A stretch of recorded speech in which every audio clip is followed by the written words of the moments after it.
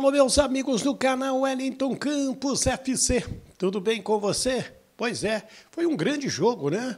Flamengo 1, Vasco 1, Maracanã, renda e público eu vou trazer já já para você e quero o seu comentário. Gostou do jogo? Não gostou? Quem foi bem, quem foi mal? O que, que você achou? Resultado foi justo? Então, estou te provocando para que você participe do nosso canal Wellington Campos FC. Paga nada não.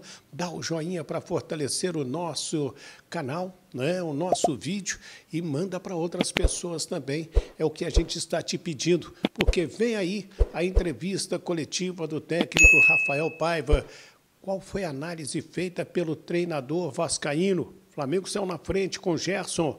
O time do Vasco foi buscar um empate com Felipe Coutinho. O que, que você achou? Roda a vinheta!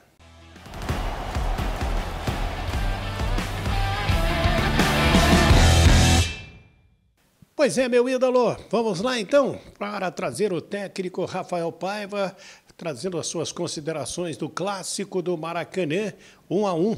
O Gerson fez para o Flamengo, o Felipe Coutinho empatou para o Vasco da Gama, a renda de R$ 3.901 R$ reais, 59 mil 463 torcedores pagantes, 63, 63.830 torcedores presentes ao Maracanã. Uma bela renda, um belo público e essa renda aí é dividida como foi do primeiro turno, agora é dividida também. E o técnico Rafael Paiva concedeu esta coletiva. Uh, acho que a equipe, além de, de batalhar muito, que já é uma marca que a gente tem trazido aí dos últimos jogos, né? De, de, de tentar lutar muito, brigar muito pelo resultado, tratar todo jogo como se fosse uma final.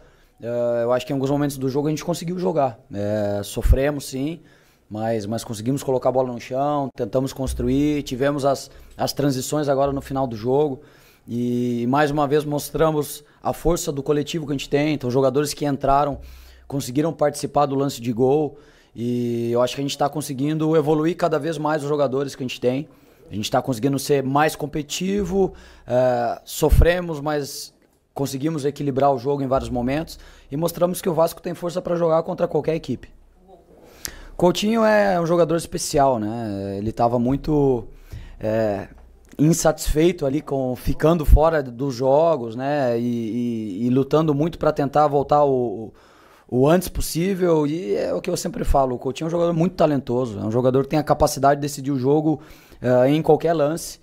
E, e, hoje ele já mostrou, com, com 20 minutos em campo, 25 minutos, o, o jogador talentoso que ele é, desequilibrante que ele é, e vai nos ajudar muito. A gente vai fazer de tudo para ter o Coutinho em todos os jogos, a gente tem um pouquinho de paciência. É, o mesmo processo que a gente fez com o Paier para ele estar tá sempre disponível em todos os jogos, independente da minutagem, porque ele em campo é um jogador que desequilibra.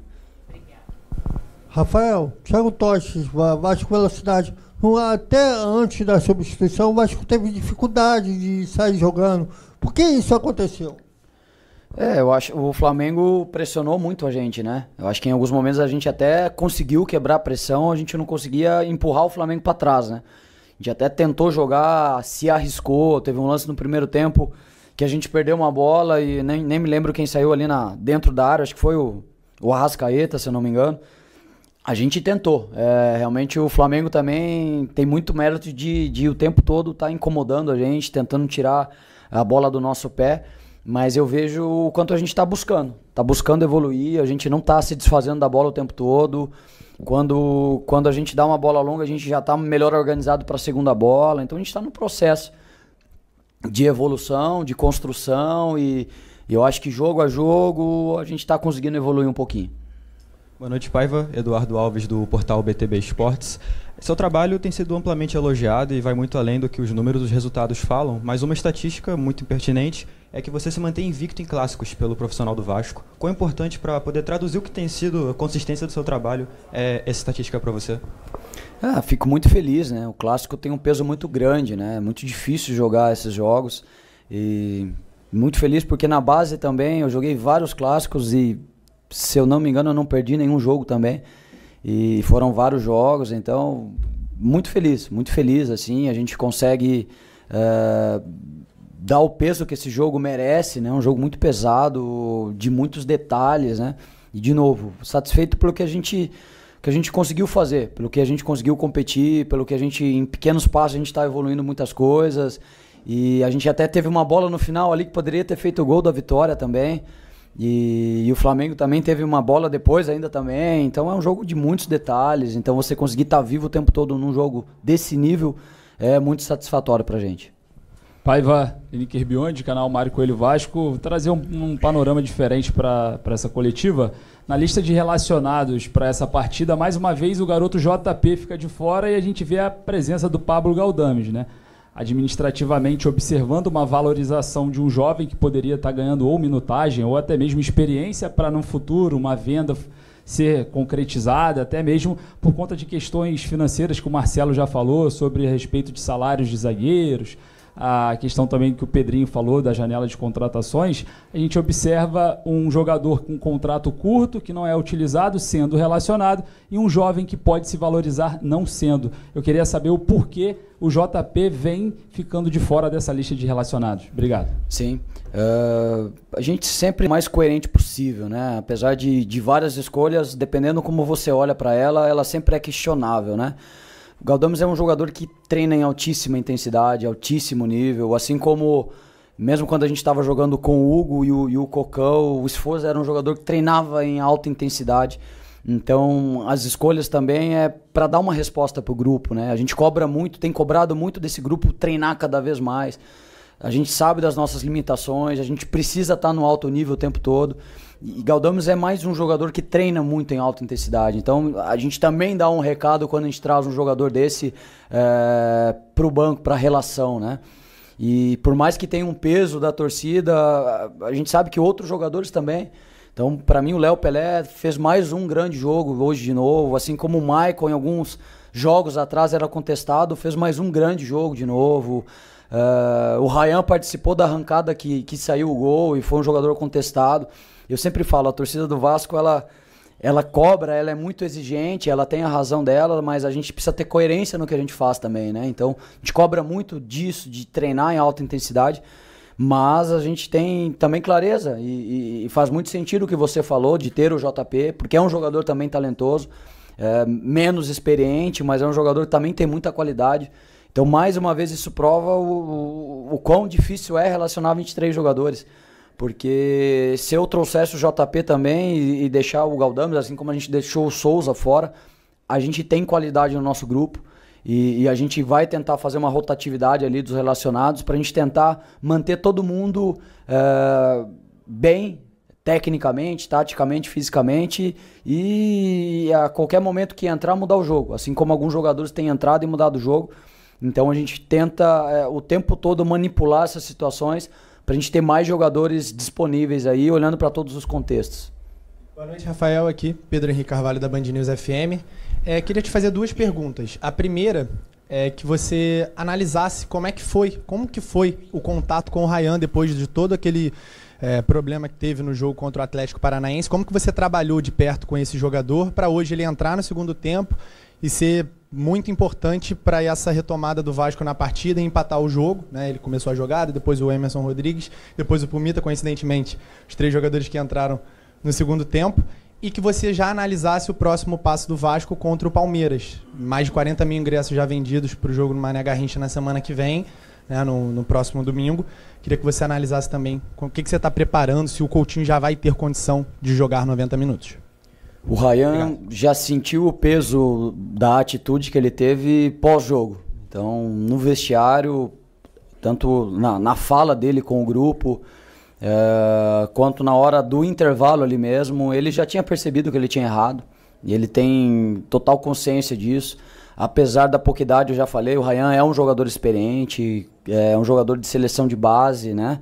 Então ele já viveu muita coisa, viveu a Copa do Mundo sub-17. Então é um jogador que tem é, total discernimento de tudo que está acontecendo, né? Então foi uma conversa assim que ele já sabia que ele tinha errado. É, eu acho que é mais a, aquele impulso do momento mesmo que ele não conseguiu se controlar. E eu acho que não é o Ryan só. Eu acho que Tem outros jogadores que poderiam ter cometido o mesmo erro, né? Acho que era um erro gravíssimo porque poderia ter nos custado uma classificação, mas a gente tenta olhar pelo lado do quanto a gente se sacrificou por ele também, né? No, no jogo, porque a gente sabia que se a gente não classificasse contra o Atlético, o peso ia ser muito grande em cima dele. Então ia demorar um pouco mais de tempo para a gente conseguir resgatar o jogador, né? Até com a torcida. E muito feliz dele já ter conseguido dar uma resposta rápida hoje, né? Então acho que esse é o nosso papel, né? Demonstrar o tempo todo o quanto eles têm capacidade, o quanto qualquer decisão deles é, é, prejudica muito a equipe. Acho que o Ryan já aprendeu essa lição e serve para outros jogadores do grupo também. E eu acho que agora é bola para frente, né? A respeito do Palmeiras é mais um grande jogo, né? Essa é uma sequência pesada.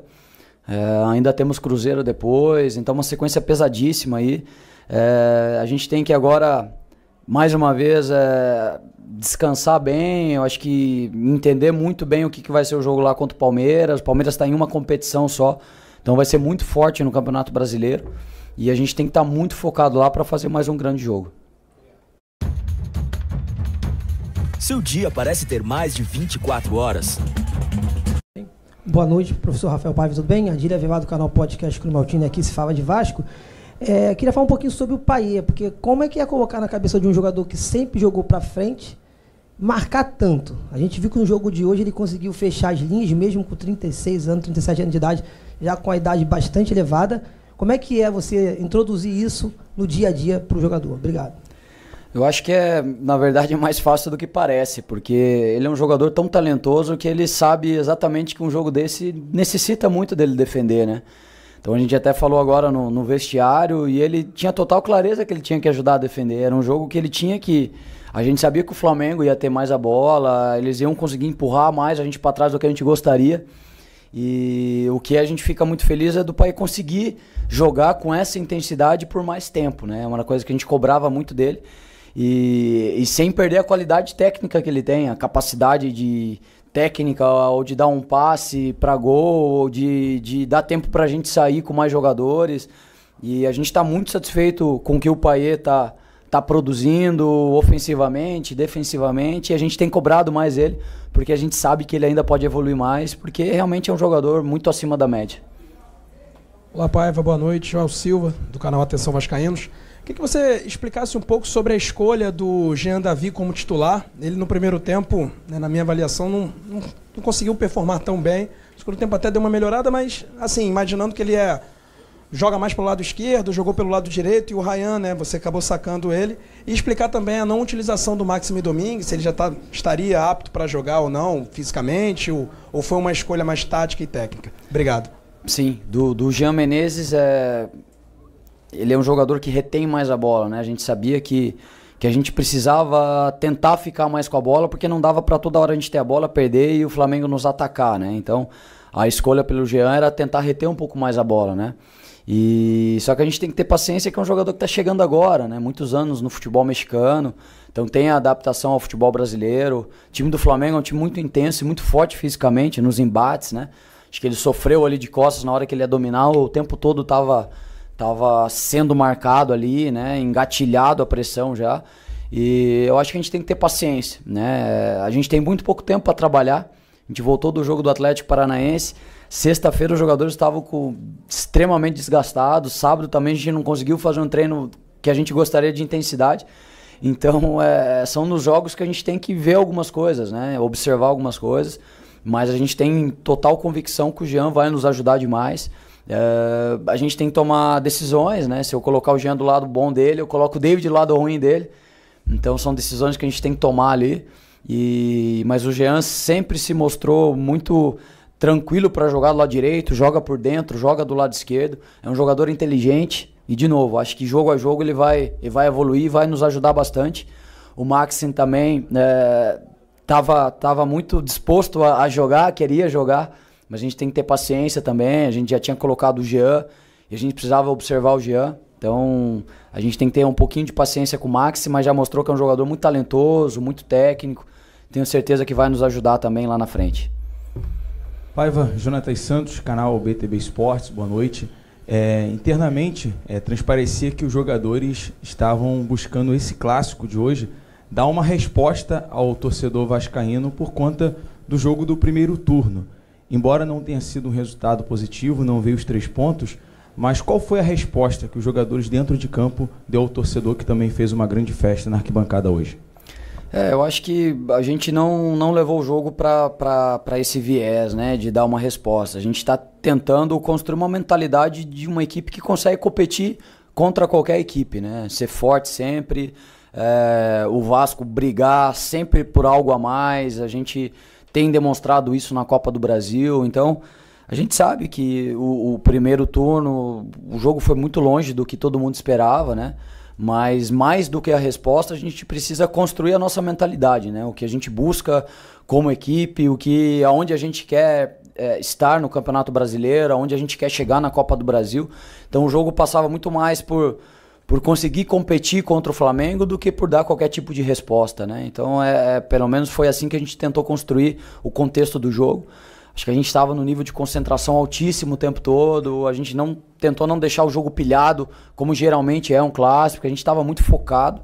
E eu acho que a resposta foi boa. Acho que a gente está conseguindo dar boas respostas. Uh, antes da derrota para o Atlético, apesar da classificação, a gente vinha de oito uh, jogos sem perder. Acho que no brasileiro, se eu não me engano, é o sexto jogo consecutivo que a gente não perde. Então, são, a gente tem construído coisas boas aí, a resposta tem que ser essa, tem que ser dentro de campo, não por, por conta de um adversário, mas por conta do contexto da, de toda a competição. A gente quer coisas maiores no brasileiro, a gente precisa provar dentro de campo, independente do adversário. Boa noite, Paiva. Brian Lucas, antenado na jogada. Depois que você assumiu o time, o Vasco veio quebrando alguns tabus, é, conseguiu uma boa arrancada no brasileiro, umas boas vitórias. Hoje, na, no, no, jogo de hoje, o, todos os jogadores que tocaram na bola foram que entraram no segundo tempo. Então é uma partida para também valorizar o treinador. É, e com isso a torcida vem gerando alguns apelidos carinhosos. É, como que é para você, já recebendo a sua primeira oportunidade na, como no, na equipe de um time profissional, é, olhando para trás, vendo o Paiva lá na base, esperando uma oportunidade, como é para você ver tudo que você vem conquistando e esse carinho da torcida com você hoje, com todo o seu, seu trabalho? É, muito Obrigado. feliz. Tô, tô muito feliz aí por tudo que a gente tem feito aí nesses jogos, né? Por poder contribuir com um time gigante como é o Vasco, né? E, e conseguir dar resultados, né? É, evoluir jogadores. Eu já falei isso em outro momento. Eu, eu gosto muito de ter um grupo e não ficar reclamando do que eu tenho, pelo contrário, é o tempo todo tentar evoluir os jogadores que a gente tem, deixá-los mais confiantes, tentar buscar cada vez um jogo um jogo mais propositivo. Acho que a gente está num processo de construção, né? Longe ainda do que a gente do que a gente sabe que o Vasco já foi na história, das equipes campeãs que o Vasco teve, foram várias, mas eu acho que a gente está no caminho, né? Fico muito feliz aí é, pelo carinho da torcida, então eu vejo quando eu saio, e, e aqui tem muito vascaíno, em qualquer lugar que você vai, então respeitam demais, elogiam, então fico muito feliz, tranquiliza mais para a gente fazer um trabalho no dia a dia com mais foco, com mais tranquilidade. Para o jogo a gente fica mais tranquilo e muito feliz por tudo que está acontecendo. Boa noite, Diogo Costa, Rádio Grande Rio, Rádio Web Total. Gostaria de saber do Paier, porque você pediu para ele marcar bastante, né? mas ofensivamente, às vezes, ele se embolava ali com o David ou com o Jean David, mas no segundo tempo ele veio mais centralizado e aí o Vasco conseguiu distribuir melhores as bolas.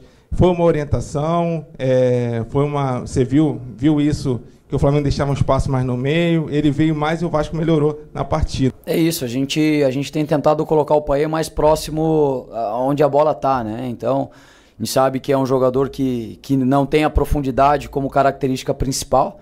É um jogador que estava caindo muito pelo lado esquerdo do campo. A gente tem tentado organizar o Paê para participar da nossa construção em todos os lados, né? Ele está cada vez conseguindo ser mais móvel dentro de campo. É um jogador que com a bola no pé destranca demais o jogo pra gente, tem uma capacidade de último passe, de, de mudar o centro de jogo. Então, quanto mais o Paê conseguir participar da construção, a gente qualifica mais a nossa saída, né? E ele tá, ele tá cada vez jogando melhor. Eu acho que primeiro tempo ele conseguiu em vários momentos também, né? O jogo é mais intenso no início, a gente sofre um pouco mais de pressão, mas é um jogador que se adapta muito bem aos espaços vazios e, e cada vez ele tem contribuído mais para o jogo nesse sentido. A última. Paiva Tébaro do Grupo Globo, boa noite. É, Os colegas já comentaram aqui que a melhora do Vasco no segundo tempo passa muito pelas tuas substituições, que é, dá para dizer que você teve muito dedo do treinador hoje ali na reação do Vasco. O lance do gol passa pelos pés de quatro jogadores que saíram do banco, então tem tudo isso. Mas ao mesmo tempo as substituições elas aconteceram um pouco tarde. É, acho que a primeira foi aos 20, aproximadamente 20, 20 e poucos, aí o Puma entra aos 38, se eu não me engano. É, o que passou ali pela tua cabeça? Qual foi a tua estratégia? Essas substituições poderiam ter sido feitas antes? O que passou ali pela sua cabeça? Você pode explicar pra gente, por favor? Posso. Eu acho assim, é um jogo desse nível, né, que você tem que estar tá muito organizado para defender. Vou, por, quando você troca algum jogador, por mais que ele tenha consciência da estratégia que a gente tem, é, até ele entrar no jogo, talvez você perca uma ou duas bolas ali que pode ser fundamental para você tomar um gol, né? Então tem jogos que você tem que buscar logo mudar para reagir de alguma forma, para buscar o gol. Mas tem momentos que você está equilibrado para defender e, e, quando você troca demais, você se desequilibra um pouco. Então são, são opções, são decisões que você tem que tomar e, e você não tem clareza se vai dar certo ou não, né? Então acho que hoje o time estava consistente defensivamente, a gente começou a sofrer um pouquinho mais de transição em um momento do segundo tempo. A gente ali sabia que que daqui a pouco a gente tinha que trocar. Mas uh, os jogadores estavam sustentando bem, né? Eu acho que a estratégia, apesar do Flamengo ter a bola, a gente conseguiu neutralizar bem. O Léo fez boas defesas, como sempre faz, defesas importantes, mas não foi toda hora que ele teve que defender. Então acho que a gente estava equilibrado para defender. E a gente sabia que se a gente fizesse muitas trocas, a gente tinha um risco de desequilibrar um pouco defensivamente, né? Então, foi mais em cima é, dessas decisões que a gente tomou as decisões das trocas um pouco mais para frente nesse jogo. Pois é, aí as considerações do técnico Rafael Paiva eu não vou comentar não. Quem vai comentar é você. Você concorda com o treinador vascaíno? É isso mesmo que ele falou? Deixe o seu comentário aqui abaixo, deixe o seu nome, o nome da sua cidade, para o próximo vídeo receber aquele nosso abraço. E você que está inscrito, muito obrigado. Você que está se inscrevendo, também muito obrigado. E você que ainda não se inscreveu, me ajuda, se inscreve porque você vai ajudar muito o nosso canal Wellington Campos FC. Paga nada não para se inscrever, mas para que, que você pede para a gente se inscrever, Wellington?